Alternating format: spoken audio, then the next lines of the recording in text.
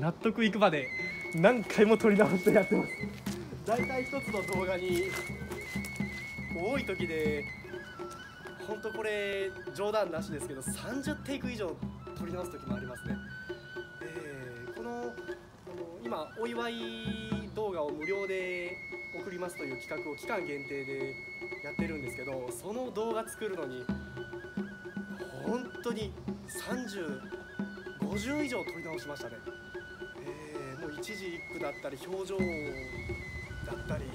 ちょっとこだわりすぎましたね本当にこだわりすぎてもダメですねあでは参ります本日5月21日生まれの皆様お誕生日おめでとうございます Happy birthday to everyone born on May 21st お誕生日おめでとうございます。ハッピーバースデー